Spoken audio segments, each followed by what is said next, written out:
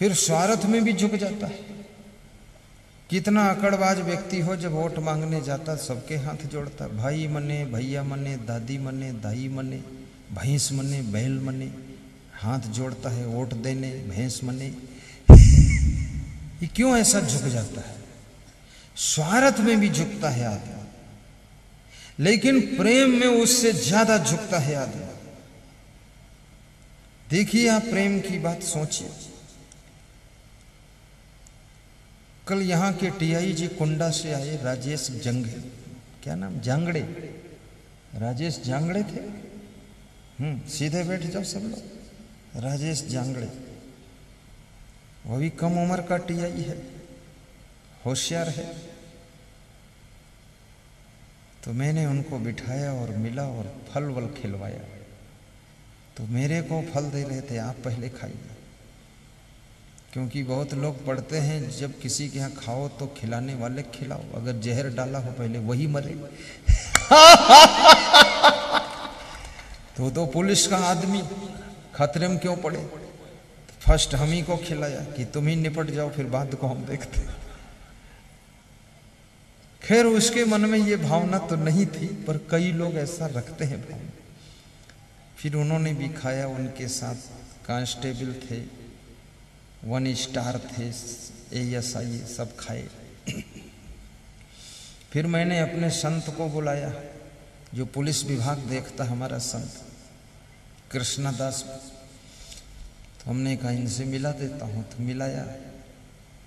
देखिए, प्रेम की बात बता रहा हूँ तो कृष्णदास ने उनको हाथ जोड़कर साहिब बंदगी किया और कहा कि संतों की तरफ़ से आपका आमंत्रण है सत्संग में। सब संतों की तरफ़ से निमंत्रण, आप आइएगा। नमस्कार, साहिब बंदगी तो मैं देखा मुझे अच्छा लगा। तो आदमी के अंदर जब प्रेम होता है तो विनम्र भी हो जाता है और सहनशीलता भी आ जाती है। इसलिए पति से इतना प्रेम करो कि कितने ही घर में कष्ट हो, सब हँसते हँसते सह सको। पत्नी से इतना प्रेम रखो कि कोई तकलीफ़ आए तो उसके साथ हँसते हँसते झेल लो। माता पिता से इतना प्रेम रखो कि कोई प्रॉब्लम्स है तो मुस्करा कर उसको सह सको। और ये भी याद रखना, अपने बच्चों से भी इतना प्रेम रखो, अगर बच्चा फेल हो गया है तो भी हँसते हँसते बच्चे को निभा सको। बाराबंकी ज़िले में मेरा सत्संग हो रहा था, जहाँ से अभी सत्संग करके मैं आया हूँ, खैरा गाँव डिस्ट्रिक्ट बाराबंकी, उत्तर प्रदेश। तो वहाँ का एक बच्चा बोला कि मैं आपसे अलग मिलना चाहता हूँ, हमने कहा, साथ में ही मिल लो। बोले, अलग मिलूँगा। तो मैंने कहा, अलग मिल लेना फिर। तो मिला अलग, मैंने कहा, प्रॉब्लम क्या है? बोले, पूरा घर इंजेक्शन मार रहा मेरे। तुमने बीमारी ज़्यादा है क्या? बोले, बीमारी उमारी कुछ नहीं है। हमारे जो दादा हैं वो भी, और दादी भी, और माँ भी, और पिता भी, और चाचा भी सब यही कहते हैं। मन लगाकर पढ़ना, खूब पढ़ाई करना नौकरी लेना है, नौकरी पाना है, सरकारी नौकरी में जाना है, जल्दी नौकरी मिलनी चाहिए। बोले, हमारा मन इतना टूट गया है। अब मैं सोचता हूँ क्या करूँ? तो मैंने कहा, साधु बनोगे? बोले, इसमें तो बहुत मुश्किल आएगी। साधु तो नहीं बन पाऊँगा, लेकिन इतना ज़रूर है। कुछ रास्ता बताओ। तो मैंने उसको समझाया कि तुम्हारे दादाजी दादी जी पिताजी, माताजी चाचा जी तुम्हारी पत्नी सब इसलिए कह रहे हैं ताकि तुम्हारा मनोबल बढ़ जाए।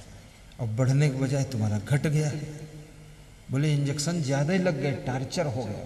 टार्चर बता रहा था ऐसा इंग्लिश शब्द ढूंढा है, हमको बहुत टार्चर कर दिया है। तो मैंने कहा कि तुम इसकी चिंता मत करो, उनको सबको धन्यवाद दो, वो तुम्हारी सब चिंता करते, इसलिए तुमसे कहते हैं, पढ़ो पढ़ो पढ़ो।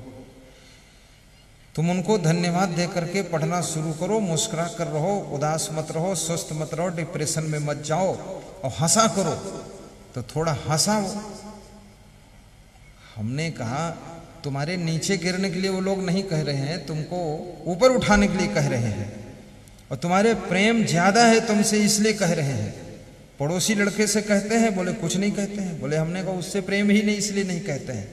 जिससे प्रेम होता है, उसी को तुम डांटोगे, उसी को कहोगे, उसी को सुधारोगे, उसी को समझाओगे, उसी को खिलाओगे, उसी को पिलाओगे, उसके सोने की भी चिंता करोगे और याद रखना, जहाँ प्रेम नहीं होता है, वहाँ ये सब कुछ बात खत्म हो जाती है और आदमी उससे दिल को अलग कर लेता है।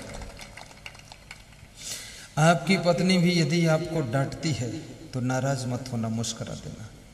क्योंकि उसने आपको अपना ही मान लिया है कि अब ये मेरे पक्के रूप से हैं, चाहे डांटो, चाहे पीटो, रहेगा ठीक ही। तुम्हारी पत्नी यदि कहती है, वो शर्ट सफ़ेद रंग का उतारो, पीले रंग का पहनो तो समझ लो उसको तुम्हारी बहुत ज़्यादा चिंता है। बहुत चिंता रहती है कि मेरा पति देखने में भी सुंदर लगे, कपड़े भी ठीक लगने चाहिए। यदि आपकी पत्नी आपके सामने से मीठा की प्लेट उठा ले जाती है और खाने को नहीं देती है, क्योंकि तुमको शुगर होने वाला है, डॉक्टर ने बता दिया है तो समझ लेना आपकी पत्नी आपसे ज़्यादा प्रेम रख रही है। अगर चावल नहीं दे रही, आलू नहीं दे रही, मीठा नहीं दे रही, और मीठा उठा लेती है फट से तो महान है वो पत्नी जो तुम्हारी इतनी चिंता करती है और तुम इतने विचित्र आदमी हो जो तुमको तुम्हारी भी चिंता नहीं है, शुगर हो गई है, फिर भी मीठा खा रहे हो, तुमको फ़िक्र नहीं अपनी, तुम्हारी फ़िक्र तुम्हारी पत्नी को है, ऐसी पत्नी को धन्यवाद देना, वो महिला तुम्हारे घर की महिमा है, शोभा है।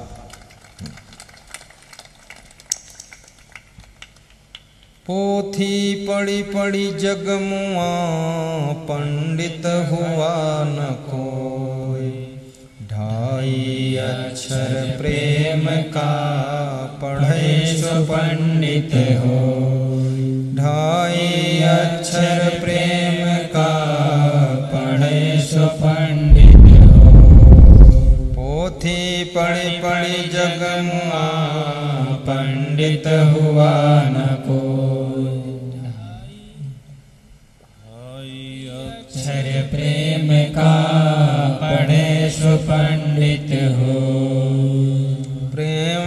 पाठ का चोलना पैर कबीरू पानिप को, तन मन बोले साच और मनुष्य तो प्रेम का सागर है। तुम्हारे पास में थोड़ा प्रेम नहीं है, तुम प्रेम के सागर हो। गोपाल साहू, प्रेम के सागर। मनुष्य कुत्ते से प्रेम करता है, बिल्ली से प्रेम करता है, चूहे से प्रेम करता है, चिड़ियों से प्रेम करता है। और मनुष्य के अंदर जब प्रेम प्रकट होता है तो मछलियों को भी आटे की गोलियाँ खिलाता है, कुत्ते को दूध पिलाता है, बिल्ली को दूध पिलाता है, और चिड़ियों को भी प्रेम देता है बछरू को प्रेम देता है, भैंस के बच्चे को भी प्रेम देता है। पशु पंछियों को भी प्रेम देता है और मनुष्य पड़ोसियों को भी प्रेम देता है। और जब इसका प्रेम बहुत विशाल रूप हो जाता है, पूरे देश के लिए कुछ करना चाहता है, प्रदेश के लिए कुछ करना चाहता है, इसके दिल में होता अपने गाँव के लिए भी कुछ बड़ा कर दूँ और ऐसा कर दूँ कि मेरा गाँव सब गाँव से निराला गाँव रहे ऐसा प्रेम होता है। और आपके गाँव का कोई व्यक्ति आगे बढ़ रहा हो तो टांग खींचने का प्रयास मत करना। गाँव में ईर्षा द्वेष जलन का भाव ज़्यादा रहता है। लोग सोचते हैं दूसरे गाँव का चाहे जितना आगे बढ़ जाए, लेकिन अपने गाँव का अपने बराबर ही रहना चाहिए, आगे जाना नहीं चाहिए। लेकिन अगर तुम्हारे गाँव का कोई व्यक्ति आगे बढ़ गया, मुख्यमंत्री बन गया, प्रधानमंत्री बन गया, या विधायक बन गया, या सांसद हो गया तो अपने गाँव की रोडें तो कम से कम ठीक करेगा, ज़्यादा से ज़्यादा विशेष ध्यान देगा। और जब रोड ठीक होगी, क्या वही निकलेगा? ज़्यादा तो हम ही निकलेंगे। तो अपने गाँव का आदमी अगर कोई चाहे राजनीति में बढ़े, चाहे सर्विस में बढ़े, चाहे बिज़नेस में बढ़े, और चाहे जिस चीज़ में आगे बढ़े, धनवान बने, गुणवान बने, महान बने, यशस्वी बने, तेजस्वी बने तो उससे अपने गाँव का ज़्यादा फ़ायदा, अपने क्षेत्र का ज़्यादा फ़ायदा है। इसलिए उसको हिम्मत बढ़ाना चाहिए, मनोबल देना चाहिए कि हाँ तुम आगे बढ़ो। अभी मैंने सुना है कि एक गाँव का व्यक्ति कलेक्टर हुआ है उत्तर प्रदेश में। तो उस गाँव के लोग कह रहे थे कि हम लोग इस इंतज़ार में हैं कि हमारे ज़िले में ट्रांसफ़र होकर आ जाए। और यहाँ कुछ अच्छा कर दे। तो मैंने कहा, कोशिश करो ट्रांसफ़र होकर आ जाए। और योग ऐसा बना, वो ट्रांसफ़र होकर अपने ज़िले में ही पहुँचा एक बार। और पहुँचा तो अपने गाँव को चमका दिया पूरा। क्योंकि उसके पास सारे फंड वंड सब विसारा दिया थोड़ा सा कि मारो इधर, निकालो थोड़ा सा। सारा ठीक ठाक करा दिया। चार छः गाँव पास पड़ोस के वो भी। और अपने ज़िले को विशेष रूप से आगे बढ़ाने के लिए ऊपर से फंड भी लाया कि मेरे ज़िले में कुछ नया, कुछ अच्छा कुछ बड़ा होना चाहिए। कुछ कसर नहीं रहनी चाहिए। अभी एक साधु हुआ है गुजरात में तो जिस गाँव में उसका जन्म हुआ था, वो बड़ा संत हो गया। तो उस गाँव में उसने बहुत बड़ा मंदिर बनाया है। तीन सौ करोड़ का मंदिर खड़ा किया है, तीन सौ करोड़ का। बड़ा धर्मशाला बनाया है और ऐलान कर दिया है कि गाँव का आदमी जो अपने घर में चूल्हा न जलाना चाहता हो, हमारे मंदिर में आकर के निःशुल्क भोजन करे। और डेली वहाँ पर एक हज़ार लोगों का सुबह और एक हज़ार लोगों का शाम को फ्री भोजन होता है। गाँव के लोग भी वही माल छक लेते हैं कभी कभी घर में बनाते ही नहीं और लोग कहते हैं, बहुत अच्छा महान पुरुष पैदा हुआ। कोई तुम्हारे गाँव में अगर बड़ा आश्रम खड़ा हो रहा हो, उसको बनने दीजिए। उस आश्रम की वजह से तुम्हारे यहाँ की जमीनों के रेट बढ़ेंगे। उस आश्रम की वजह से रोडें चौड़ी होंगी। उस आश्रम की वजह से जल योजनाएँ भी आएँगी। उस आश्रम की वजह से तुम्हारे गाँव में बहुत सारी सुविधाएँ बढ़ेंगी। तुम्हारे गाँव का नाम बढ़ेगा, यश बढ़ेगा, बहुत दूर तक नाम चला जाएगा। इसलिए याद रखना ऐसा कोई बड़ा काम हो कोई तुम्हारे गाँव के पड़ोस में फैक्ट्रियाँ खोल रही हो, बड़ी बड़ी। टाटा जी खोल रहे हों, बिड़ला जी खोल रहे हों, मुकेश अंबानी खोल रहे हों। फटाफट उनका स्वागत करो, गर्म चाय पिलाओ, ठंडा शरबत पिलाओ, आइए, खोलिए, हम सब साथ में हैं। तो अपने को क्या लफड़ा फंसा उसमें? तुम सोचोगे मेरी ज़मीन चली जाएगी, जाने दो ज़मीन सब। जो आपकी ज़मीन पाँच लाख रुपए एकड़ है, सात लाख रुपए एकड़ है, वो चालीस लाख रुपए एकड़ खरीदेगा। सारी ज़मीन बेच दो, मकान बेच दो, बीस किलोमीटर दूर जाकर के पाँच एकड़ की पचास एकड़ खरीद लो, तुम गौटिया जी बन गए लफड़क खत्म हुआ, बिड़ला जी को इधर आने दो, तुम उधर जाने दो। हाँ चतुर बनो। चतुराई हम सिखा देंगे आपको। मैं तो सोचता हूँ, हमारा आश्रम जहाँ है, वहाँ कोई फैक्ट्री खोले, आश्रम ले ले तो मैं उसको दे दूँ। सब बना बनाए आश्रम दे दूँ, टोटी, टाटा सब बाथरूम ले जाओ, झंझट खत्म करो। अगर वो पचास लाख में आश्रम बना है, वो दस करोड़ देगा, फट से दे दूँगा मैं। और फट से उससे हम चार एकड़ में आश्रम है, चालीस एकड़ खरीद कर बड़ा बना लूँगा, फट से। छः महीने बन जाएगा, उसका लफड़ा खत्म हो गया। हम चालीस गुना बड़े हो गए जाकर। तुम कहते हो, यहाँ कोई बड़ा आदमी आ जाएगा तो मेरा खेत अरे, तेरा खेत कहाँ? तू ही रहने वाला नहीं। मर जाएगा दस साल बाद, तेरा खेत लिए घूमता है। ये होशियारी सीखो। गुजरात में इस तरह लोग बहुत होशियार है। मैंने दाहोद से स्टार्ट किया बाई रोड यात्रा। दाहोद से लेकर के समुन्द्र किनारे जम्बूसा तक गया, मैं आमोद तक गया। पूरा रोड के दोनों तरफ़ फैक्ट्री ही फैक्ट्री फैक्ट्री ही फैक्ट्री, कंपनी ही कंपनी एक एक कंपनी में 500 लोग, हज़ार लोग नौकरी करते हैं। और सब कंपनी बनी हुई। तो मैंने लोगों से कहा, ये कंपनियाँ आपने बनवा दी, खेती किसमें करोगे? बोले, खेती की ज़रूरत ही नहीं है। जिसने ज़मीन दिया, उसके घर के सब लोगों को नौकरी दे दिया। और नौकरी से वेतन आए और ज़मीन का पचास गुना रेट मिला तो हम यहाँ से दूर जाकर पचास किलोमीटर पर खरीद लिए। पचास एकड़ हमारे हो गए फार्म हाउस और हमारा आनंद आ गया। हम तो सोचते, मेरा घर भी ले जाओ, फैक्ट्री बना दो। क्या फ़र्क पड़ता? पुराना है, गिर जाने दो उसको। नया बना लेंगे। अपन ज़रूरत नहीं इधर। रायपुर में बना लेंगे चल के, बिलासपुर बना लेंगे, पंडरियम बना लेंगे कबीर धाम में बना लेंगे।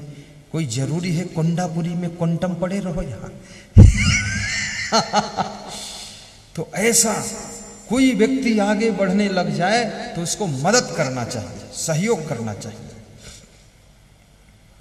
और उसकी कोई पेड़ बड़ा जब होता है ना तो उसकी छाया कितने लोगों को मिलती, लकड़ी कितने लोगों को मिलती, ऑक्सीजन कितने लोगों को मिलती, और उस पेड़ में फल कितने आते, कितनी चिड़िया फल खाती, कितने आदमी फल खाते, सोचो। तो ऐसे जो व्यक्ति उन्नति करने लायक हो, उसको मदद करना चाहिए और अपने गाँव में उसको आगे बढ़ाना चाहिए, ज़िले में आगे बढ़ाना चाहिए और भाइयों बहनों, अपने ज़िले का आदमी भी आगे बढ़ रहा है। हर फ़ील्ड में बिज़नेस में भी आगे बढ़ो, पीछे मत रहो। धनवान बनो, गुणवान बनो, महान बनो, चरित्रवान बनो, कर्तव्यवान बनो, विवेकवान बनो, बुद्धिमान बनो गरीब बन करके भी मत जियो। अलवा जलवा ज़िंदगी मत जियो। टाप की ज़िंदगी जियो। अच्छा मकान बना कर रहो, अच्छी गाड़ी में चलो। ये फंटी संटी गाड़ी में नहीं चलना। है फंटी गाड़ी उसको एट हंड्रेड होती ना वो, आठ सौ नंबर की, फंटी है वो। और उसको पुरानी ले लो तो संटी है वो। सेटिंग में लगा दो, और क्या है? अच्छी गाड़ी लो। साड़ी सस्ती गाड़ी महँगी पहनो, ले लो। साड़ी में क्या, साड़ी कौन देखता? साड़ी तुमको लेकर थोड़े जाएगी कबीर धाम गाड़ी लेकर जाएगी। कितनी महिलाओं की साड़ी देखो तो चेन्नई की साड़ी है, और घर में चीनी नहीं, चाय में डाल देखो। चेन्नई की साड़ी पहने घूम रही।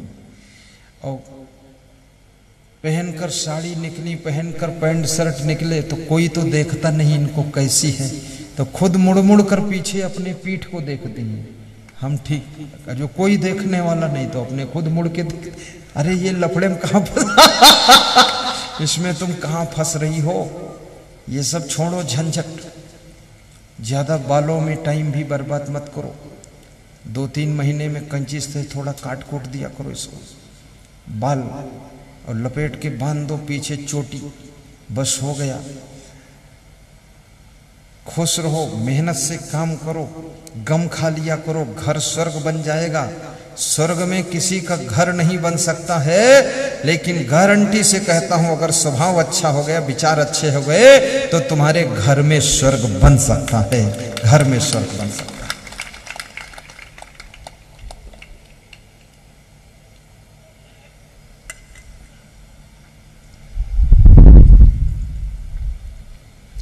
चार बातें जिसके घर में होती हैं, उसका घर स्वर्ग बन जाता है। स्वर्ग स्थिता नाम यह जीवलोके चतवारे चिन्हानि बसंत देहे, दान प्रसंगो मधुरा चवाणी देवार्चनम ब्राह्मण तर्पणश्च। जो दान करता है, दान का प्रभाव बहुत बड़ा है।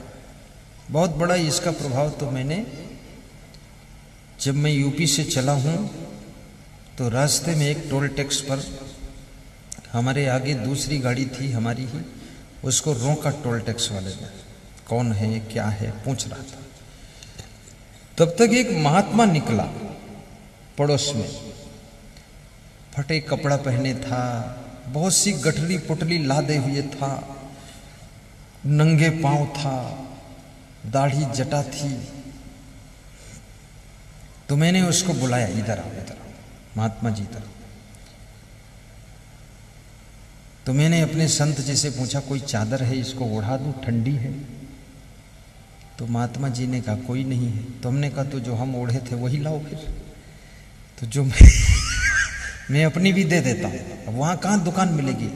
तुम कहो नहीं है नहीं तब तक वो चला जाएगा उसको कब दोगे फिर? दे दो तुम अपनी नहीं खरीद लेना। तो मैंने अपनी वाली चादर जो अच्छी थी उसको दिया। उड़ाया। और बीस रुपये दिया हमने कहा, नाश्ता कर लेना बाबा जी। संत जी से हमने कहा, बीस रुपये दो, चाय वाय पी लेगा। तो ये देख करके वो टोल टैक्स वाले फिर हमारे साइड में आए और मेरे हाथ जोड़ा, बोले, सब गाड़ी निकालो टोल टैक्स नहीं लूँगा मैं। आप बहुत महान हो।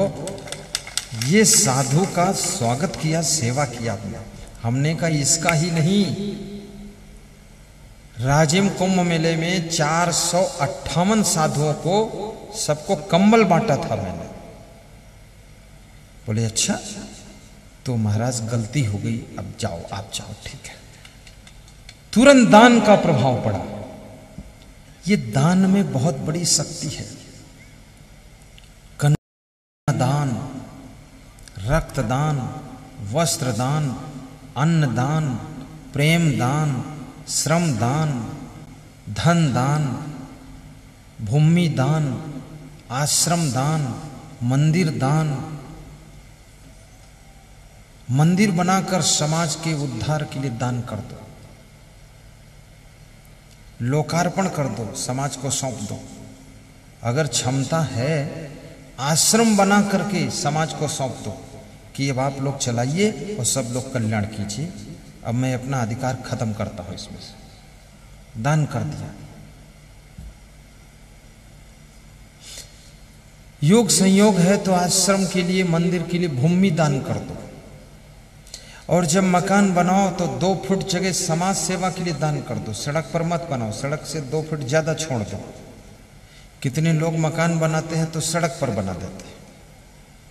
कोई कहे तो कहते हैं, तुमको भी इसी न्यू में डाल देंगे। कौन लड़ाई करे उनसे? मकान बनाइए, ज़मीन में ज़्यादा मत फैलाइए, चार मंजिल ले जाइए। नीचे चार कमरा, दूसरी मंजिल पर तीन कमरा, तीसरी मंजिल पर दो कमरा, चौथी मंजिल पर एक कमरा। और हर मंजिल में लेट बाथ किचन बना दीजिए। सबसे नीचे मंजिल में सामान और मेहमान रखो। दूसरी मंजिल में तुम रहो, पत्नी रहे, बच्चे रहें। और तीसरी मंजिल में बेटे बहू को रखो जिसकी शादी हो गई। और चौथी मंजिल में बस कभी कभी इच्छा हो हवा खाने के ऊपर चले जाओ। दूसरे गाँव से दिखाई दे चौथी मंजिल का रूम कि जिनका चौथी मंजिल का मकान है, उसी का नाम जल्लू साहू है। उसी का नाम शैलेंद्र साहू डॉक्टर है। वो गोपाल साहू वही है चौथी मंजिल वाला। अब तुमने इतना लंबा चौड़ा फैला के रखा है कि कभी उसको बना ही नहीं पाओगे। ऊपर मंजिल की हवा खाइए, नीचे जगह छोड़िए, नीचे पीछे बाड़ी रखिए, जिसमें महिलाएँ सब्ज़ी उगाएँ। दो घंटे हर महिला जाकर उसमें भिड़े जा कर के टमाटर है, भाटा है, भिंडी है, उसमें लगाए, उसी अंदर पीछे भैंस पाले, गाय पाले, दस लीटर दूध रोज बेचो। कम से कम डेली पाँच सौ की प्रॉफिट होनी चाहिए। नहीं तो लेडीज़ बैठे बैठे सब। अभी भजन गा रहे थे हैदरगढ़, बाराबंकी ज़िले में मेरा प्रवचन था, शोभा यात्रा निकली तो उसमें भजन गा रहे थे शिव जी का। शिव जी बोले, गौरा जी से, गौरा जी, कुछ इतना आराम ना किया करो जी। मोटी हो जाओगी, कुछ काम करो जी। गौरा जी से शिव जी बोले। तो गौरा जी बोले कि शिव जी तुम्हारे साथ कैलाश पर्वत पर चढ़ जाऊँगी और तो मैं चढ़ते चढ़ते फिर दुबली हो जाऊँगी। ऐसा मज़ेदार गा रहे थे। तो महिलाओं को भी उधर काम करना चाहिए और ऊपर को आसमान में ले जाओ। आसमान में कोई झगड़ा ही नहीं। ऊँचे अपना उठाइए, सड़क से छोड़ दीजिए। ये सेवा है भगवान को किसी ने नहीं देखा है, लेकिन इंसान को देखा है पशु पक्षी को देखा है। पशु पक्षी और इंसान के अंदर छिपा हुआ आत्मा रूपी परमात्मा रहता है और इंसान को सुख देना पशु पक्षी को सुख देना, यही भगवान की सबसे बड़ी पूजा है। और इस पूजा को जो करता है, उसी का कल्याण होता है।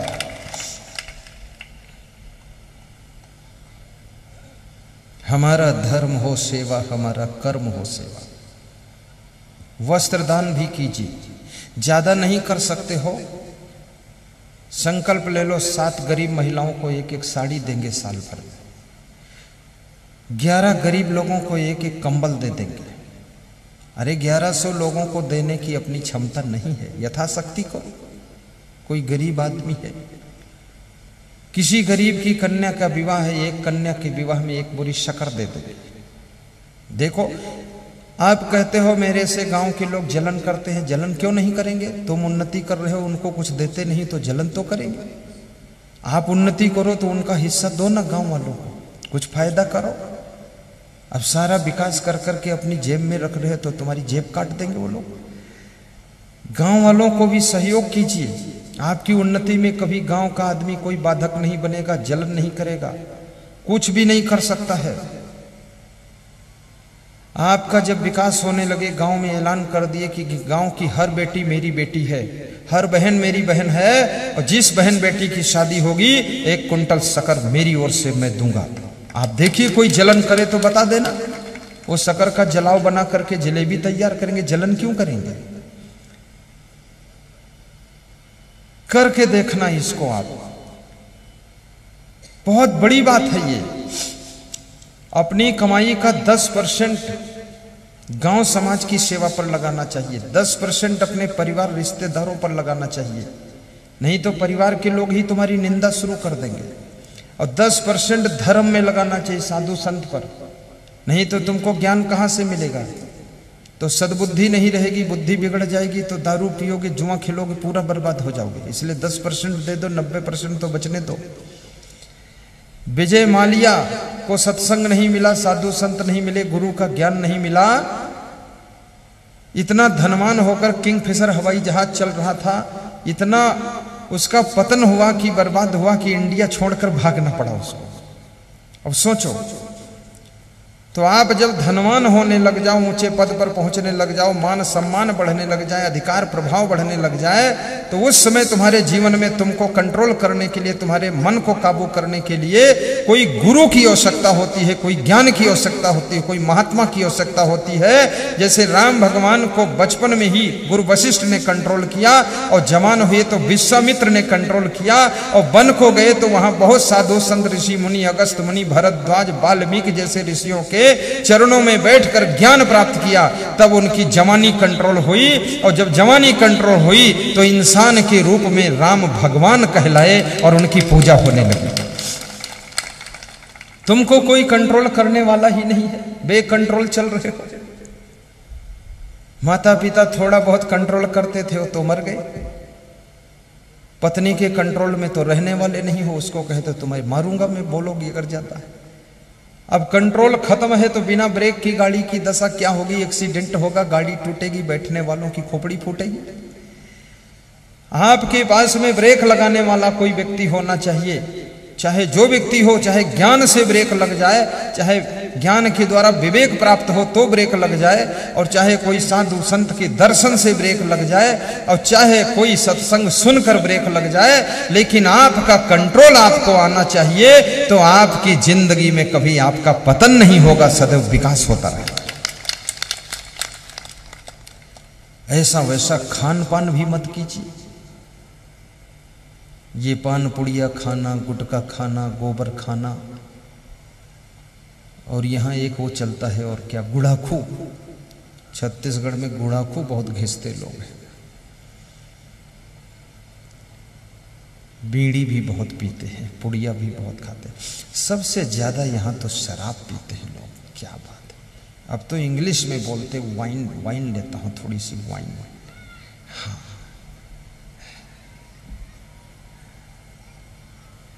और आप एक विवेक करिए कि महिलाएँ ना वाइन लेती हैं, ना पॉइन लेती हैं। इनको क्या नींद नहीं आती? ये क्या ज़िंदा नहीं है? ये तुमसे ज़्यादा तंदुरुस्त हैं, पुरुषों से ज़्यादा इनके चमक है, पुरुषों से ज़्यादा ताकत है, पुरुषों से ज़्यादा खुश हैं।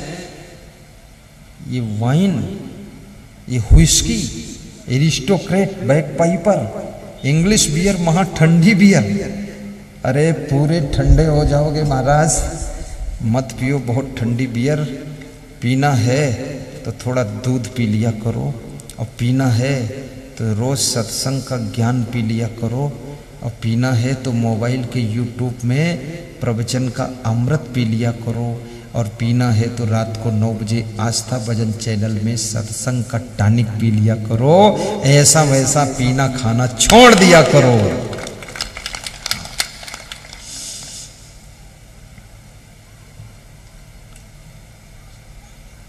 तू प्यार का सागर है। तू प्यार का सागर है।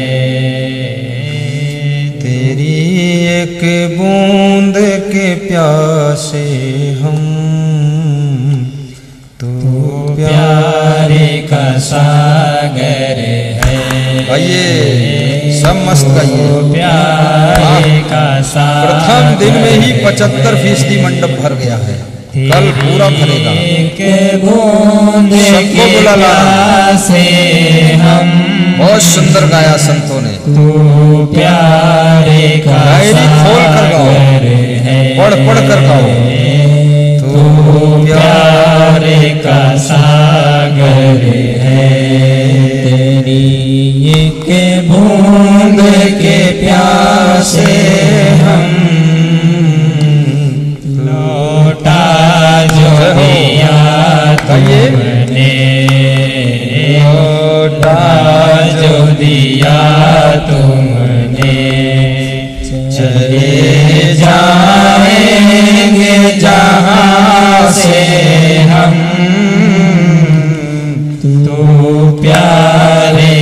सागर है।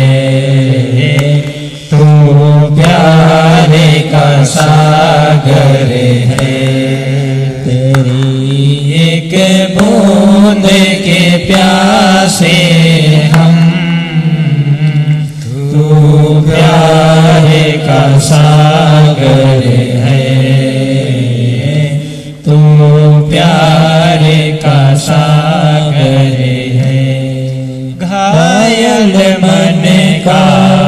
पागल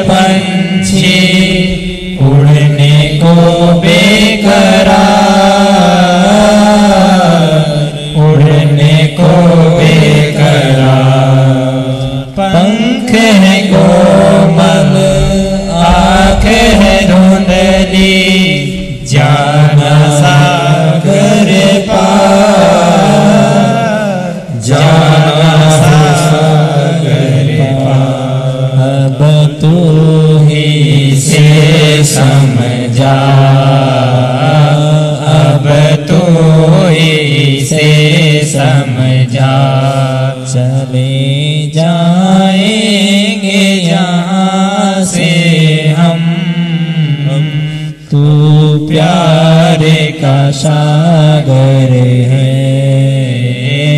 तू प्यारे का सागर है। तेरी एक बूंद के प्यासे हम। तू प्यारे का सागर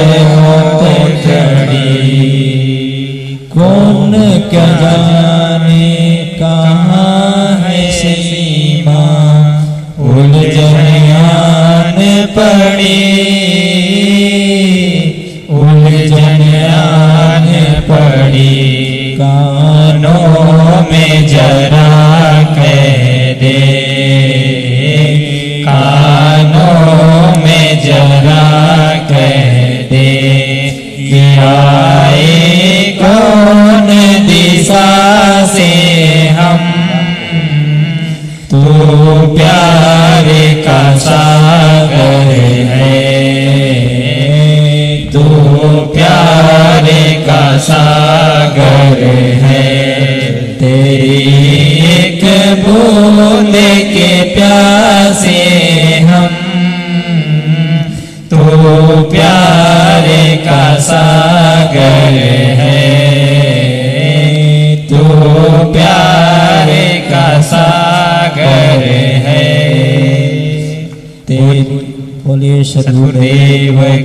जय।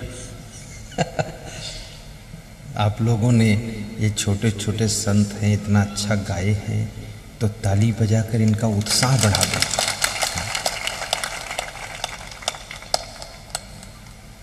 अभी सब ट्रेनिंग में हैं, गा रहे हैं धीरे धीरे आ जाएगा। तुम ताली बजा दोगे तो उनको लगेगा बिल्कुल फिट गया हूँ। और तुम कुछ नहीं बजाओगे तो कल सोचेंगे कुछ बिगड़ ज़रूर गया हमारा।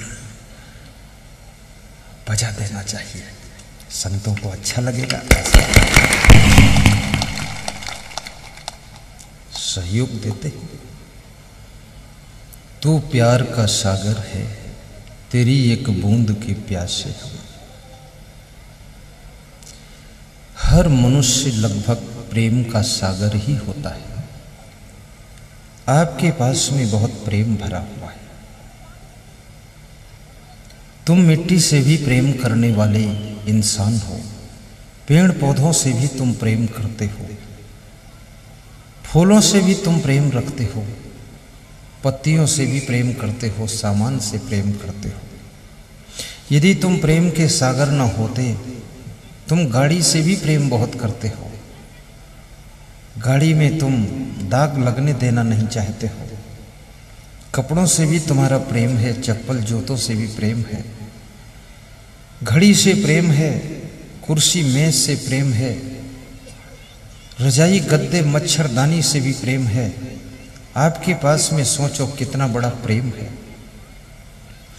इतने बड़े प्रेम के सागर तुम हो, अपने बच्चों से भी प्रेम किया करो। और बच्चों के प्रेम में अपनी कुछ गलतियों को सुधार भी लिया करो। और ये भी कहूँगा, अपने पति से भी प्रेम किया करो। और प्रेम में किसी को धोखा भी मत दिया करो। और प्रेम का अर्थ वासना नहीं है, प्रेम का अर्थ विषय विलास नहीं है, प्रेम का अर्थ सांसारिकता नहीं है, प्रेम का अर्थ बड़ी पवित्रता होता है। जैसे शिवरी ने राम से प्रेम किया तो प्रेम भक्ति बन गया। जब प्रेम उपासना की दृष्टि से किया जाता है तो प्रेम भक्ति बन जाता है। और जब प्रेम वासना की दृष्टि से किया जाता है तो वही प्रेम भोग बन जाता है, मोह बन जाता है। और जब प्रेम याद रखना सेवा की दृष्टि से किया जाता है तो वही प्रेम साधना बन जाता है। साधना बन जाता है। प्रेम के बहुत रूप होते हैं।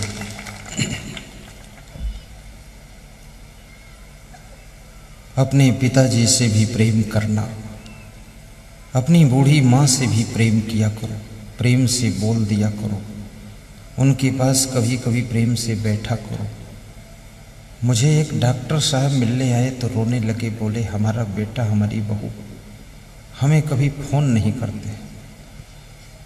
तो मैंने कहा, अपना मोबाइल ठीक करा लो जाकर। हो सकता उसमें कुछ गड़बड़ हो। तो मोबाइल ठीक कराने दुकान पर गए कि, देखो, मोबाइल ठीक कर दो बेटा। हमारा बेटे का इसमें फ़ोन नहीं आता है। तो मोबाइल की दुकान वाले ने कहा कि, मोबाइल ठीक है बाबा जी, लेकिन आपके बेटे का दिमाग ठीक नहीं है। वो तुमको फ़ोन करता ही नहीं, इसलिए आता नहीं है। अपने माँ बाप को फ़ोन भी कर दिया करो। ज़्यादा नहीं तो कम से कम तीसरे, चौथे, सातवें, आठवें दिन उनसे बात कर लिया करो। उनको तुम क्या दे सकते हो? उन्होंने तो तुमको जन्म दिया है, तुम्हें पैदा किया है। पाला पोसा है, पढ़ाया लिखाया है, सब कुछ कर दिया। अब उनको क्या तुम पढ़ाओगे, लिखाओगे? या उनको तुम जन्म दोगे?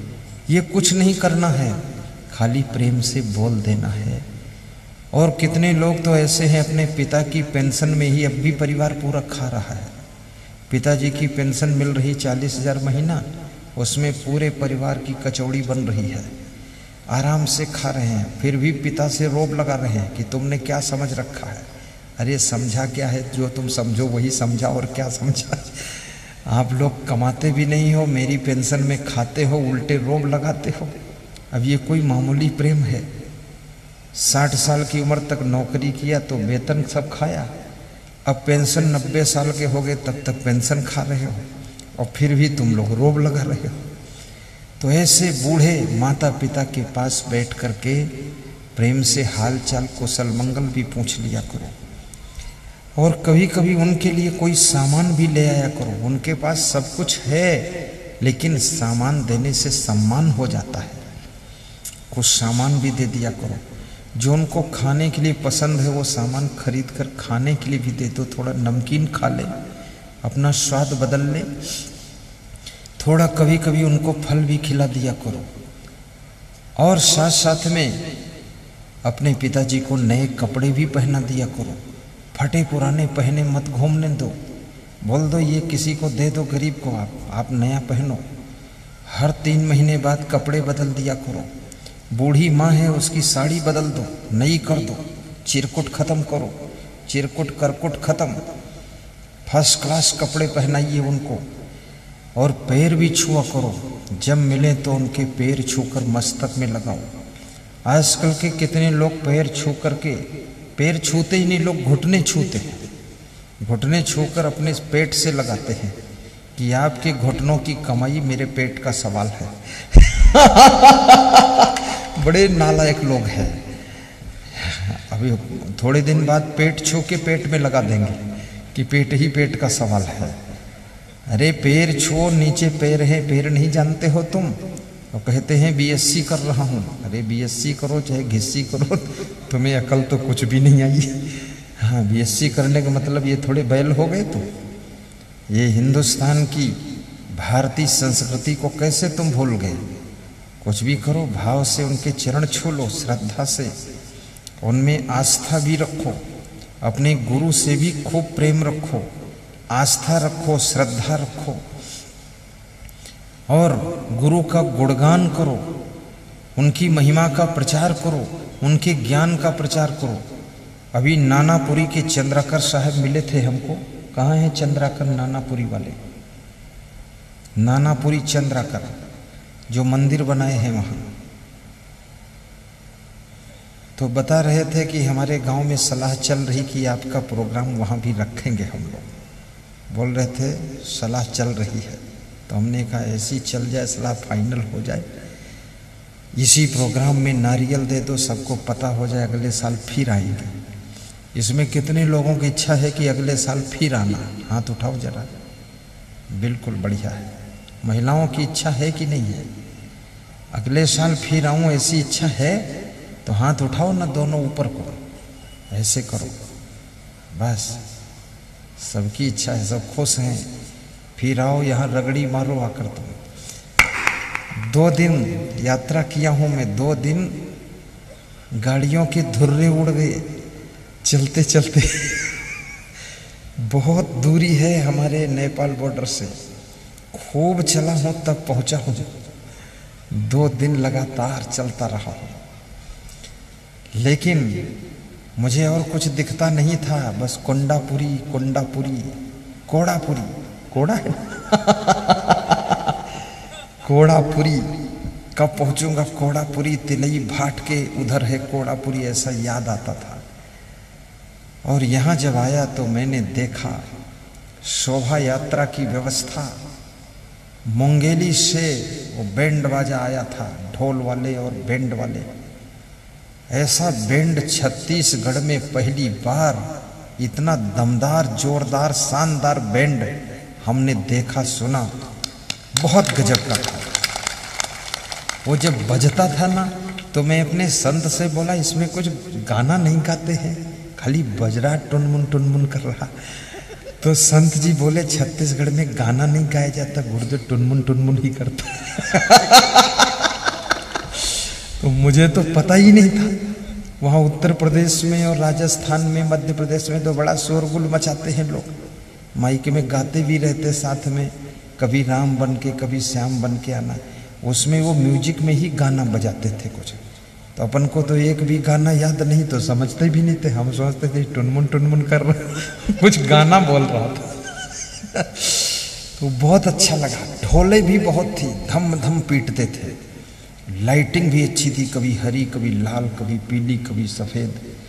तो मैंने कमा और दो छाता आदमी लिए थे घुमाते रहते, छाता नचाते थे उसमें भी दिमाग लगा रहता था, भाई छाता नाच रहा है।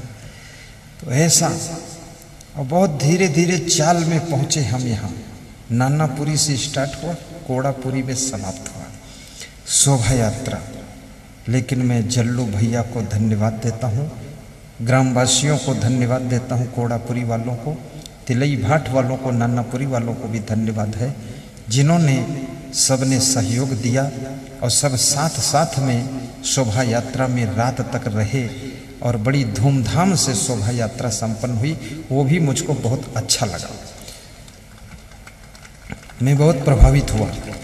जब रात में विश्राम के लिए मैं पहुँचा तो मैं सोचा, मेरा विश्राम कहाँ होगा? तो बताया कि वो जल्लू भैया के घर में विश्राम होगा। तो हमने कहा, फिर जल्लू कहाँ रहेंगे?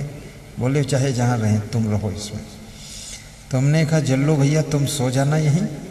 लेकिन जो आपकी वाइफ हैं और माताएँ बहनें वो दूसरे घर में सो जाएँगे। तो उनके घर की माताओं बहनों को दूसरे घर में सोने जाना पड़ा। पता नहीं रात में क्या सोचा होगा कि अब तुम कभी मत आना। हमारा घर हम ही को निकाले हो तुमको ठीक करेंगे। मन में दुख हुआ हो या ना हुआ हो, दुख तो नहीं हुआ। है?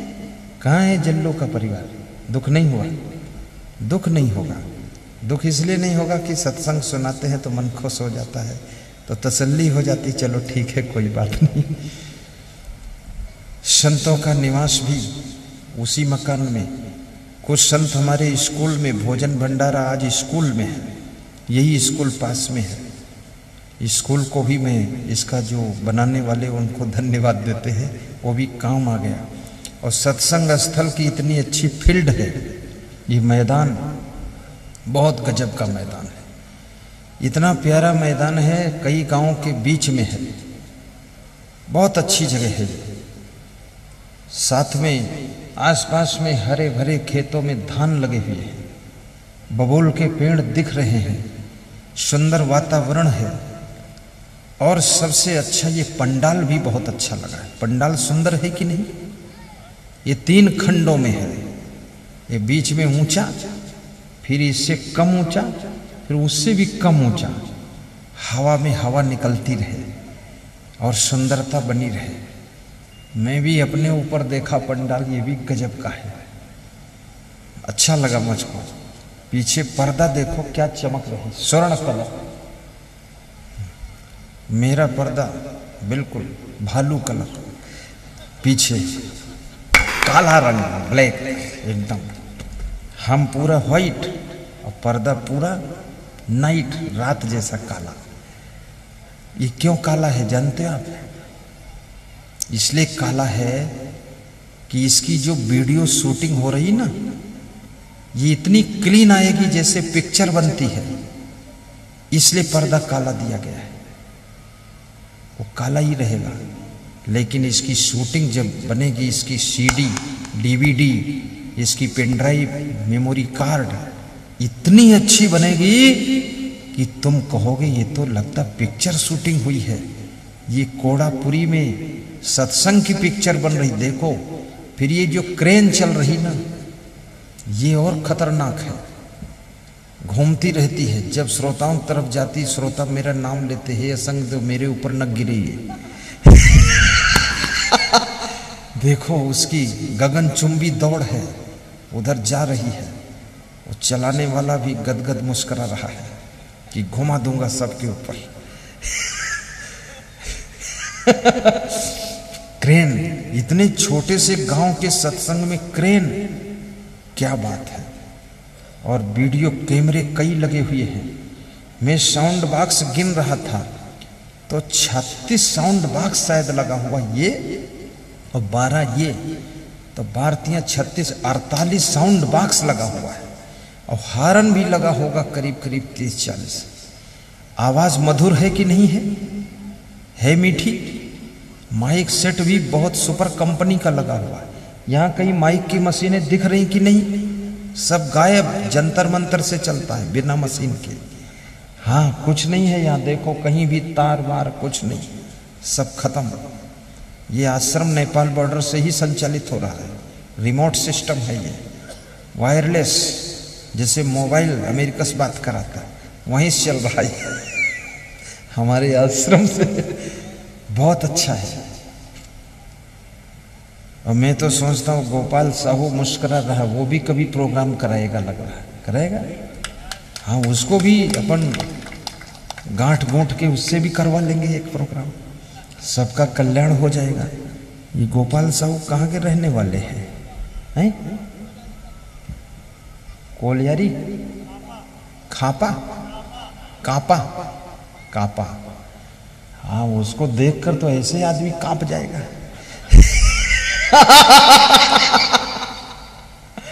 वो बहुत प्यारा आदमी है वो। पर्सनालिटी बहुत अच्छी है। जरा खड़े हो एक बार देखें सब लोग। वीडियो घुमा दो ना। कहाँ घूम रहे हो। घुमा दौड़ के आ जाओ देखो, लंबाई, चौड़ाई बिल्कुल पेट नहीं है। फिटनेस बॉडी, सुंदर शरीर, कम उम्र, काले बाल, काली सदरी सफ़ेद कुर्ता, सफ़ेद पाजामा आधा कलर हमारा, आधा कलर तुम्हारा। उधर वीडियो घुमा करके उनका ले लिया करो। अच्छा यहीं से घुमा दिया। देखो, संत लोग होशियार है। तुम्हारे पर क्रेन चल गई। अब कुछ दान वान भी करना पड़ेगा। क्रेन चल रही है। इतनी अच्छी व्यवस्था।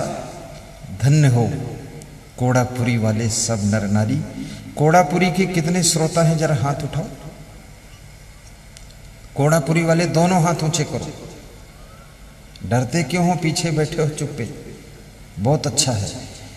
घोड़ापुरी के 500 लोग हैं। अब हाथ उठाओ, बाहर वाले कितने लोग हाथ उठाओ। वेरी गुड अब नीचे कर लो हाथ। अब ये बताओ, ऐसे कितने लोग हैं जिन्होंने टीवी में भी हमको देखा है? हाथ उठाओ। वेरी गुड तो जब टीवी में देख लिया था, यहाँ क्यों देखने आए? इसलिए आए कि वही है कि कोई और है नकली आदमी।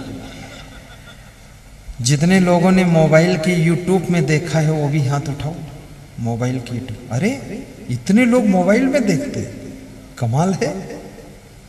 तब तो इधर आने की हमें ज़रूरत ही नहीं मोबाइल में देख ही लेते। कि आना पड़ेगा गोपाल? है? आना पड़ेगा। एक और कोई सज्जन आए थे कह रहे थे हम भी अपने उधर प्रोग्राम करवाएँगे। कोई लल, ललक गाँव है ललक? ललका? है? है? अच्छा वहाँ का आदमी है वो। कहाँ बैठे कहाँ वो? बैठा हो तो उठ जाओ हाँ खड़े हो। ये देखो। कौन गाँव है? लगरा। चलो, अच्छे गाँव का नाम लगरा है। कहीं लबरा न हो जाता है। बहुत बढ़िया, लगरा। महान व्यक्ति है। उसकी श्रद्धा यहाँ आए वो चरण छुआ, आशीर्वाद लिए बोले, गुरुदेव, हम भी अपने यहाँ प्रोग्राम आपका रखेंगे। और कोई ये मत समझना कि इसमें चार पाँच लाख खर्चा आता है। चार पाँच लाख वक्त कुछ नहीं है। ये सब वीडियो कैमरा, ये क्रेन और ये साउंड बॉक्स और ये सब हॉर्न और ये पंडाल, ये बिछावन, ये पर्दे और चार ट्रक में सामान आता है, ये सब। और ये पचास तखत ये ब्यास गादी वो ब्यास गादी वो ब्यास गादी ये कुर्सियाँ और ये सब टेबल, कार्यालय। ये जो कुछ यहाँ का खाली ज़मीन है ये। बाकी जो दिख रहा है ये मेरे साथ में आया है सब ठेकेदार का। ये सब आपका जंतर मंतर में होता है, ज़्यादा पैसा नहीं लगता है। वो तो बहुत दूर से मैं आता हूँ ना, करीब करीब में 1200 किलोमीटर से आया हूँ। आना जाना 2400 किलोमीटर पड़ेगा, दो लाख चालीस हज़ार का तो तेल फोकेगा आने जाने का, यहाँ से। तो समझ लो ये दो ढाई लाख में पूरा कार्यक्रम करता हूँ, तेल का पैसा ले लेता हूँ, बाकी ये सब फ्री कर देता हूँ। फ्री हो जाता है। तीन गाड़ी संतों के लिए आती है, एक गाड़ी प्रचार वाहन आती है। ये आठ नौ गाड़ी का सब खर्चा, ये पंडाल का, माइक का, वीडियो का, क्रेन का, और सब, और अट्ठारह बीस नौकर कर्मचारी का वेतन, वो सब मिला करके आपका दो ढाई लाख में हो जाएगा। ज़्यादा चिंता क्या करनी? बात इसलिए खोल, और यही प्रोग्राम अगर यूपी में होता आपका तो कितने में होता? मात्र एक लाख में करते आप। एक लाख में। और यही प्रोग्राम अगर हमारे आश्रम के पड़ोस में होता, पचास किलोमीटर पर तो कितने में होता? कितने में होता? जितने में होता, उतने में होता। हम बताते कितने में होता? केवल साठ हज़ार में करते। यही कार्यक्रम। हम्म।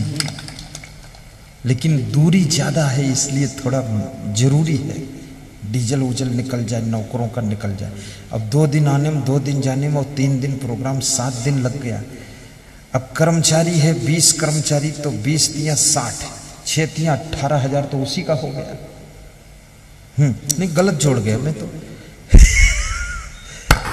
छह सते बयालीस बयालीस हज़ार उसका सात दिन का वेतन बना जाकर के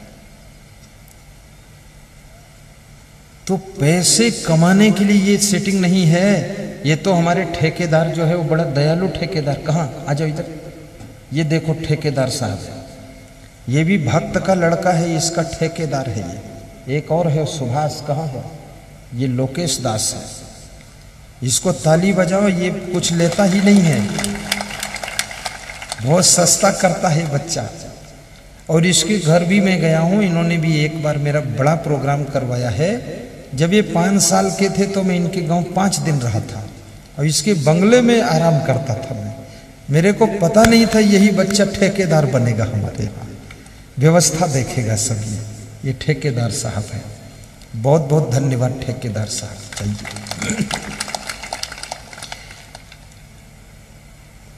जलेश्वर साहू को भी व्यास गादी धन्यवाद देती है कि आपने इतनी हिम्मत जुटाई। कोणापुरी वासियों को आसपास के गाँव वालों को भी धन्यवाद है। जो उनके मित्र हैं, सहपाठी हैं, जिन्होंने सहयोग किया तन से, मन से, धन से, उनको भी व्यास गादी धन्यवाद देती है, जिनके द्वारा प्रचार प्रसार में मदद मिली है। कार्यक्रम में किसी प्रकार से उनको भी ढेर पुण्य प्राप्त हो, मेरे गुरु का आशीर्वाद मिले, उनके घर में भी सुख शांति रहे। और भाइयों बहनों, कबीर साहब कहते हैं, तीन प्रकार का दुख होता है, आदि, व्याधि, उपाधि ये तीनों प्रकार का दुख मिटाने के लिए मानसिक दुख विवेक से मिटेगा और बीमारी का शरीर की बीमारी का दुख परहेज और स्वस्थ रहना इसके लिए ज़रूरी है, तब मिटेगा और उपाधि का दुख संतोष करने से मिटेगा। आपके सब दुख दूर हों, ऐसी मैं शुभकामना करता हूँ। और यहाँ बहुत पंथ के लोग इकट्ठे हुए हैं। बाबा जय गुरुदेव को मानने वाले भी आए हैं दामा खेड़ा गद्दी को मानने वाले आए हैं, और यहाँ पर खरसिया गद्दी को मानने वाले आए हैं, कबीर को मानने वाले, रामचरित मानस को जानने मानने वाले, और यहाँ पर हर मत पंथ के लोग इकट्ठे हुए हैं, हिंदू भाई सब इकट्ठे हुए हैं, शायद कोई मुस्लिम भाई भी आए हों, सबको मैं मत मज़हब संप्रदाय वालों को धन्यवाद देता हूँ, और सभी के लिए मैं शुभकामना करता हूँ। आपके घर में कम से कम एक एक दिव्य आत्मा, श्रेष्ठ आत्मा, पुत्र के रूप में या नाती पोता के रूप में जन्म ले, जो तुम्हारे घर में उजाला कर दे और तकलीफें सब मिटा दे। ऐसा ये व्यास गादी आशीर्वाद दे रही है। और माताओं, बहनों के लिए मेरी शुभकामना है कि प्रेम से बैठे बैठे उन्होंने ढाई तीन घंटे तक बैठी रही है। मैं यहाँ आया हूँ, डेढ़ बजे पहुँचा हूँ। पौने दो बजे करीब अब पौने पाँच हो रहा तीन घंटा हो गया है। बहुत ही लंबा चलाया हूँ। ऐसे चार बजे बंद करने का था, लेकिन बंद इसलिए नहीं कर रहा हूँ कि मेरा मन नहीं बंद करने का है। बंद इसलिए नहीं कर रहा हूँ कि तुम भी बंद नहीं करवा रहे हो। बंद इसलिए नहीं कर रहा हूँ क्योंकि इतना पैसा लग गया इतना मेहनत से तुम डीजल, पेट्रोल फूंक कर कार, मोटरसाइकिल में आए हो तो आधा घंटा ज़्यादा सुनने को आपको मिलना चाहिए, कम सुनने को नहीं मिलना चाहिए, इसलिए बंद नहीं कर रहा हूँ। और आपका स्वभाव सुंदर बने, आपका चरित्र सुंदर हो, आपके घर में लक्ष्मी का निवास हो, आपका कल्याण हो, घुटनों पर हाथ रखिए, पहली अंगुली अंगूठा जोड़िए, और कुछ हमारे अतिथि आए हुए हैं विशेष अतिथि उनको भी हम धन्यवाद दे देते हैं। श्री तिलक राम साहू तोरला खड़े हो जाएँगे, जिनका नाम लूँगा। श्री विश्राम चंद्राकर कोड़ापुरी, तुकाराम साहू तोरला खड़े हो जाना। भैया मान जाना। हाँ ताली बजा दिया करना तुम लोग। श्री कामता चंद्राकर नानापुरी, श्री गेंद्र राम साहू गुरुजी, कहाँ हैं? और श्री कुमार चंद्राकर कोड़ापुरी अशोक साहू क्षीर पानी और टबेलन साहू नानापुरी मनसा राम साहू तोरला, सोनलाल निर्मलकर नेहरू गाँव गाँव लीला राम साहू कोड़ापुरी अमृतलाल साहू छुटखुड़ी, घुटखुड़ी, है? घुटखुड़ी, घुटकुंडी घुटकुंडी, है?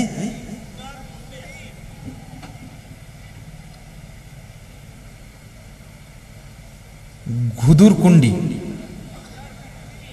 गोहर कुंडी चल, तुम तो समझ गए ना, हम बोल नहीं पाएँगे साफ़ लिखा नहीं। अजय साहू, सारिश लाल, सुरेश साहू, सावंतपुर, भागवत प्रसाद साहू, शिक्षक नानापुरी चित्र कुमार साहू, तिलई भाट, गोलू चंद्राकर कोड़ापुरी, शिवा चंद्राकर नेउर गाँव रामा अवतार साहू नेउर गाँव इनको सबको व्यास गादी धन्यवाद देती है। ग्राम बैठा पाट तहसील कोटा बिलासपुर। अमरनाथ यादव, श्री शारदा कौशिक प्रोग्राम की मांग किए हैं। इनको मैं शुभकामना करता हूँ। अमरनाथ यादव खड़े हुए कौन है अमरनाथ यादव? ये हैं देखो। और शारदा कौशिक, तुम भी खड़े हो। ये भी हैं। इनके यहाँ भी प्रोग्राम होगा। ये बैठा बैठा पाट गाँव है। बैठा पाट है? बेड़ा पार। ये सब का बेड़ा पार लगाएँगे, मेरा भी बेड़ा पार करेंगे। देखो, हम लोग दूसरे दूसरे प्रदेश के हैं, विदेशी हैं, भाषा समझते नहीं। बेड़ा पार को बैठा पाट बता दिया। तुम लोग नाराज़ ना होना। अब जिसने लिख कर दिया है, वो भी मध्य प्रदेश का है, गुजरात तरफ़ का। और मैं हूँ नेपाल बॉर्डर तरफ़ का। लिखने वाला भी विदेशी और हम भी विदेशी। तो उसमें गड़बड़ हो जाता है कभी कभी बोलने में। और सभी लोग अपने अपने गाँव में प्रोग्राम भी कराना, गुरुदेव को बुलाना और बहुत ज़्यादा, अभी तो मैं पूरा बताया भी नहीं, भोजन बनाने का बर्तन भी मेरे साथ आता है। बनाने वाले हम लोग स्वयं बनाते हैं, बर्तन धोने वाले कर्मचारी भी आते हैं। सारा सिस्टम यानी एक ही काउंटर पर सब उपलब्ध, भागम भाग कुछ नहीं। अभी देखो ना वो आराम से बैठे हैं, जो प्रोग्राम आयोजक हैं, खड़े हो जरा। हाँ क्या नाम तुम्हारा? जलेश्वर साहू। हाँ आराम से बैठे हैं, ऐसे लगता है कि प्रोग्राम कोई दूसरे हो रहा है। बिना टेंशन के हैं। खूब हँसते हैं, हा हा हा हा। क्योंकि बिजली चली जाए तो बहुत बड़ा जनरेटर भी मेरे साथ आया है। चालीस किलो वाट का, बिना आवाज़ का। और पीछे ही वो ट्रक में ही रहता, उतरता नहीं है। खुर खुर खुर खुर, चलता, आवाज़ आती नहीं है। और बिल्कुल न्यू है, बिगड़ने का सवाल ही नहीं है। धुआँ देता नहीं है और डीजल ऐसे खाता है जैसे ऊँट पानी पीता है। हाँ खौफ बहुत कम डीजल में चलता है, न्यू मॉडल। वो भी है साथ में। सारा, इसमें लाइट लगाने का भी सिस्टम साथ में। सब कुछ, बस खाली भोजन आपका लेता हूँ मैं, भोजन। और इच्छा अनुसार दक्षिणा दक्षिणा दे दो। संतों को दक्षिणा, मुझे दक्षिणा। वो भी कंपलसरी नहीं है। थोड़ा कम भी दे दोगे, लेकिन किसी से बताना मत, नहीं दूसरा भी कम देगा। चल जाएगा। और कोई ज़्यादा दे तो अनाउंस करवा देता हूँ, ताकि सब लोग ज़्यादा देगा। और कोई कम दे तो कहते गुप्त रखो। क्योंकि व्यवस्था को चलाना भी पड़ेगा थोड़ा। और मुझे आपके यहाँ सबसे अच्छा तो यहाँ के श्रोता लगे हैं। सरल श्रोता, प्रेमी श्रोता और बड़े मस्त श्रोता। हम हँसते हैं, वो भी हँसते हैं। तो ऐसा आनंद आ गया, हमारा आपके साथ तालमेल बैठ गया है। तालमेल। अब इसको समझना ये विशेष दानवीर का है। उज्जैन में आश्रम बन रहा है, मध्य प्रदेश में उज्जैन तीर्थ में। उसके लिए आप लोगों से सहयोग, उज्जैन आश्रम की कमेटी मांग रही है। वहाँ उज्जैन आश्रम का कार्यालय है, इधर कार्यालय है। अपने इच्छा अनुसार श्रद्धा अनुसार अधिक से अधिक आप सहयोग देना और वो सही आपका आश्रम के निर्माण में लगेगा।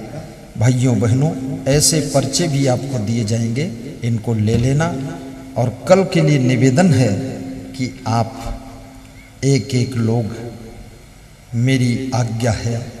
पाँच पाँच लोगों को लेकर आना और कल राइट एक बजे उपस्थित होना, तुम भी देर न करना। आज प्रथम दिन था, थोड़ा देर हुई और कल इधर जो विशेष अतिथि लोग वो भी आना, क्योंकि प्रवचन इसलिए सुनना चाहिए, अपना स्वभाव अच्छा बने, चरित्र अच्छा बने, घर में शांति रहे और आत्मा का कल्याण हो, इसलिए ये सब करना। और आपको मैं शुभकामना करता हूँ। अब आरती तैयार होकर आ चुकी है। अब मैं आरती के लिए इजाज़त देता हूँ कि सबके तक आरती पहुँचा दें। जल्दी से और सत्संग विसर्जन का मंत्र बोलें और यहाँ से जब हम छुट्टी देंगे तब जाना और जा कर के आश्रम से ज्ञान की किताबों की दुकान आई है, वहाँ से ज्ञान की किताबें लेना, प्रवचन के पेन ड्राइव भी लेना और साथ साथ में प्रवचन के मेमोरी कार्ड भी लेना, जो मोबाइल में लगाकर टीवी में लगाकर सुन सकोगे सौ सौ घंटे का प्रवचन। और साथ में आपके घरों में संत महान पुरुषों, गुरुजनों की तस्वीर होना चाहिए, उससे घर में भूत प्रेत का वास नहीं रहता है। और जिसके घर में गुरु की भक्ति है, उसके घर में याद रखना शांति बहुत रहती है तो भक्ति भी करना गुरु मंत्र भी लेना गुरु दीक्षा भी लेना, शिष्य भी बनना और शिष्य बनने का मौका कल आपको दिया जाएगा। कल सत्संग के बाद गुरु मंत्र भी प्रदान किया जाएगा। घुटनों पर हाथ रखिए, पहली अंगुली अंगूठा जोड़िए, तीन उंगलियाँ फैलाइए, रीढ़ को सीधा कीजिए और अपने स्वास्थ्य को अच्छा बनाइए। आपका स्वास्थ्य भी अच्छा रहना चाहिए। इसके लिए आप व्यायाम भी कीजिए, इसके लिए भोजन कम कीजिए जल पर्याप्त पीजिए, लंबी सांस खाली पेट सुबह खींचिए और लंबी सांस छोड़िए। इसके लिए ठहाका मारकर हंसिए और आयुर्वेदिक दवाइयों का प्रयोग करके बीमारी को जड़ से भगाइए। आयुर्वेदिक दवाइयों में श्री चिवन आयुर्वेदिक कंपनी के डिस्ट्रीब्यूटर राजस्थान से यहाँ आए हैं, महेंद्र सिंह जी, और वे बवासीर की पेटेंट दवा, घुटना दर्द, कमर दर्द की पेटेंट दवा और कब्जियत की पेटेंट दवा और पथरी की, पथरी स्टोन जो होता है, उसकी पेटेंट दवा और उनके पास में करीब 50 प्रकार की दवाएँ हैं, जो कि लाखों लोगों को फ़ायदा हो चुका है। हमारे भी कुछ संत लोगों को पथरी थी, ऑपरेशन की नौबत आ रही थी, उनकी दवा से एक महीना में पथरी गलकर खत्म हो गई है। ऐसा ये प्रमाण है। और साथ में एक महिला आश्रम के पड़ोस में घुटना दर्द से परेशान थी, चल नहीं पाती थी। एक महीने दवा खाया उसने तो तीन मंजिल की सीढ़ियाँ चढ़ रही है। उनके पति का नाम जागेश्वर प्रसाद वर्मा है और वो बहुत ही सज्जन लोग थे तो चार महीने की दवा फिर ले गई एनार्ट पाउडर। तो ऐसी ऐसी आपके दुख दर्द को मिटाने वाली दवाएँ भी हैं। और भाइयों बहनों मैं आपको धन्यवाद देता हूँ। शुभकामना करता हूँ। आप लोग महान हैं। श्री किशन साहू ग्राम कुम्हारी जिला दुर्ग से आए हैं। उनको मैं बहुत बहुत आशीर्वाद देता हूँ। इतनी दूर से ये श्रोता आए हैं। खड़े होकर दर्शन दें। ये देखो खड़े हैं। ये भी अपने प्रोग्राम करना चाहते हैं जन्मभूमि में, अपने माता पिता के उपलक्ष्य में, याद में। तो इनको मैं आशीर्वाद देता हूँ। आपका प्रोग्राम होगा। पति पत्नी दोनों शिक्षक शिक्षिका हैं। काफ़ी दूर से इनका आना हुआ है। आशीर्वाद है, धन्यवाद है।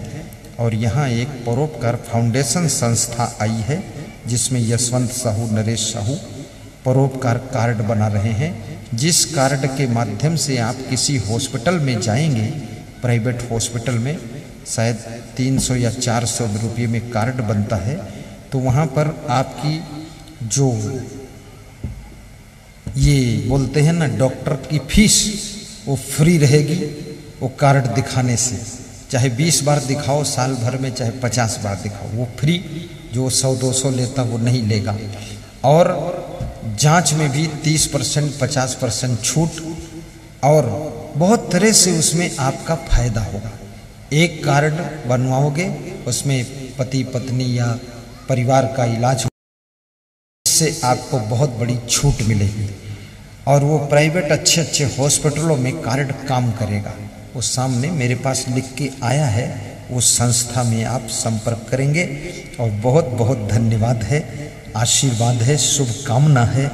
मैं तो बड़ा प्रसन्न हुआ आप सभी से मिल करके कि आप लोग कितने महान हैं, जो आज मुझ जैसे संत को नेपाल बॉर्डर से बुला करके कबीर साहेब के शब्द सुनाने के लिए, कृष्ण की गीता सुनाने के लिए, मानस की चौपाइयाँ सुनाने के लिए आमंत्रित किया। सबको शुभकामना है। अब हमारे आरती थाल पहुँच चुकी है, इसलिए विसर्जन को हम संक्षिप्त कर देते हैं। आप अंजलि बांधकर साहिब बंदगी बोले पहले। कहें, साहिब बंदगी। बस, अब घुटनों पर हाथ रख लें। सर्वे भवन्तु सुखिनः सर्वे सन्